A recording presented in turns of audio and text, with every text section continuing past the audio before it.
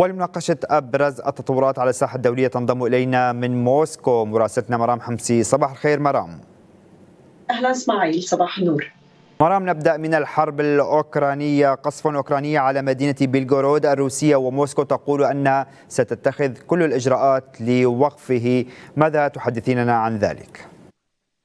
نعم إسماعيل يعني يبدو أن هذا القصف بات متكررا على المناطق الحدودية الروسية من قبل القوات الأوكرانية وتحديدا في مقاطعة بيلغراد صرح حاكم المقاطعة فيتشيسلاف فيدلاتكوف يوم أمس أن أن المدينة تعرضت لقصف صاروخي أدى إلى مقتل أو إصابة ثلاثة أفراد بإصابات خطيرة تم نقلهم إلى المستشفى وجميعهم خضعوا إلى العمليات الجراحية. الجراحية وتتراوح حالاتهم بين المستقرة والخطيرة إضافة إلى تضرر مبنيين سكنيين وعدد من السيارات. أيضا أكدت وزارة الدفاع الروسية أن هذا الهجوم الذي حصل في ليل الاثنين وفجر الثلاثاء جاء ب أو تم عبر راجمات من طراز فامبير. هذه الراجمات تلقتها أوكرانيا منذ بداية الأزمة من قبل التشيك. هنا الكرملين على لسان المتحدث باسم الرئاسة الروسية ديمتري بيسكوف أكد أن الجيش الروسي سيتخذ كل الإجراءات لوقف هذه هذا الخطر على مقاطعة بيلغورود وباقي المقاطعات الحدودية. وأيضا قال بأن الجيش بدأ باتخاذ الخطوات اللازمة لهذا الأمر. لكن أيضا تم اليوم هجوم في صباح أو فجر اليوم إسماعيل على منطقة بلغراد من جديد من قبل القوات الأوكرانية باستخدام صواريخ لراجمة أوريغان وإضافة لطائرة مسيرة بحسب وزارة الدفاع أنه تم إحباط هذا الهجوم. إضافة إلى هجوم آخر عبر طائرة مسيرة في مقاطعه سراتيف الروسية. بالمقابل كان هناك تصريحات من قبل وسائل إعلام محلية أوكرانية عن أن القوات الروسية ردت على هذه الهجمات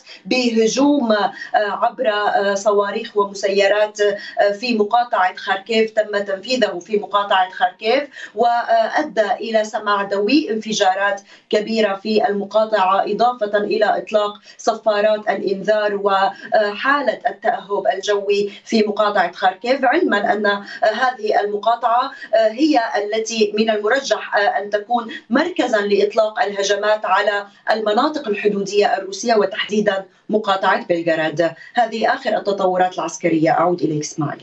مرام لو انتقلنا إلى الولايات المتحدة الأمريكية في ظل الحديث عن سعي الرئيس الأمريكي السابق دونالد ترامب لحصانة لعودته للرئاسة، اليوم إلى أي حد سوف يستفيد ترامب من هذه الحصانة؟ نعم اسماعيل يعني وفق التصريحات وما جاء فيه محامي دونالد ترامب الرئيس السابق أن هذه الحصانة ربما قد يسعى فيها ترامب إلى تأجيل المحاكمات الجنائية الأربعة التي من المقرر كان عقدها في الرابع من مارس اذار القادم. وبالتالي هي فرصة لاستئناف ترامب حصوله على الترشيح الانتخابي لانتخابات نوفمبر تشرين الثاني. وبالتالي بحسب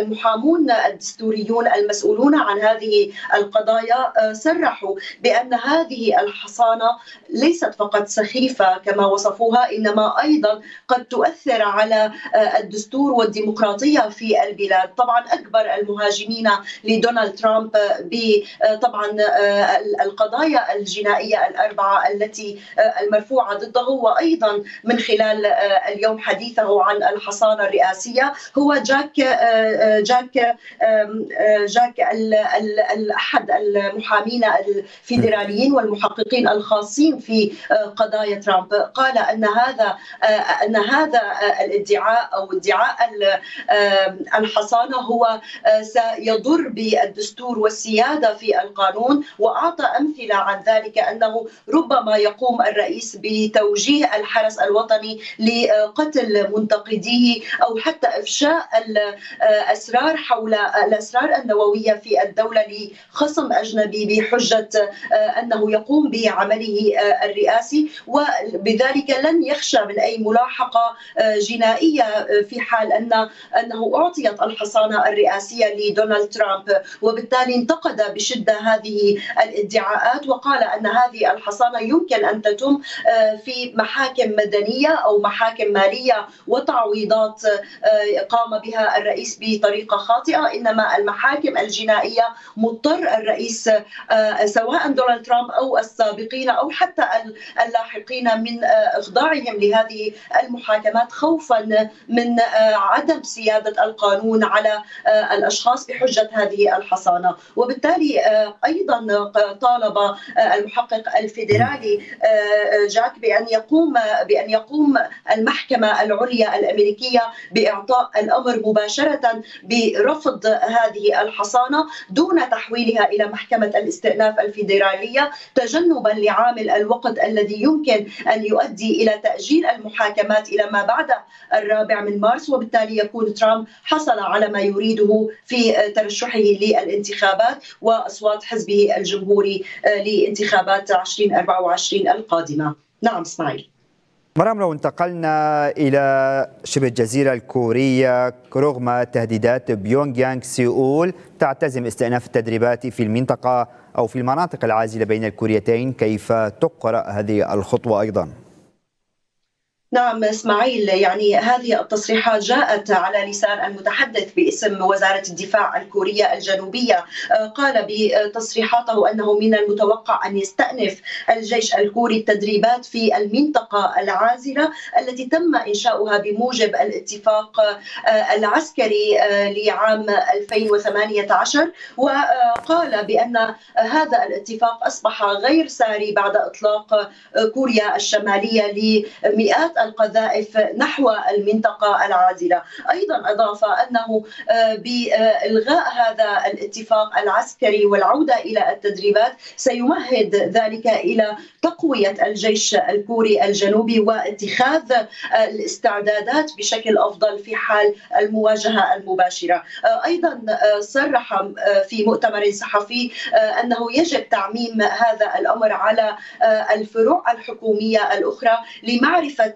إلى أي مدى يمكن آه، العمل على إلغاء الاتفاق العسكري لعام 2018 بالتالي أيضا آه، كان هناك تخطيط من قبل الجيش الكوري الجنوبي أن يقوم بتدريبات ومناورات عسكرية بالذخيرة الحية ليس فقط في المناطق البرية وإنما أيضا في المناطق العازلة البحرية. قرب جزيرتين آه، تقعان على الحدود الشمالية الغربية بين الكوريتين. اذا التدريبات لا تقتصر فقط على آه، التدريبات البرية وإنما أيضا البحرية. آه، طبعا بحسب أيضا التصريحات القادمة آه، من بيونغ يانغ ان القذائف التي أطلقتها يومي الجمعة والأحد وصولا إلى الأحد كانت ردا على وقف الجزئي لكوريا الجنوب الجنوبية بالعمل بهذا الاتفاق العسكري والعودة إلى مراقبة ووضع نقاط تفتيش على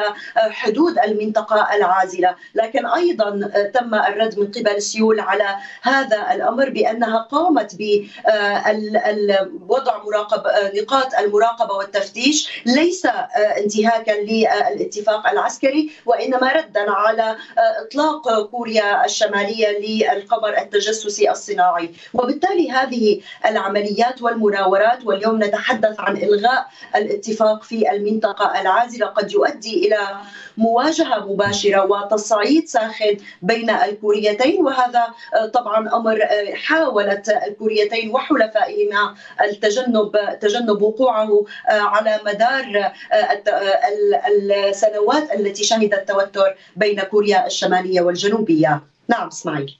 جزيل الشكر من موسكو مراسلتنا مرام حمسي شكرا جزيلا على كل هذه الآراء والمعلومات.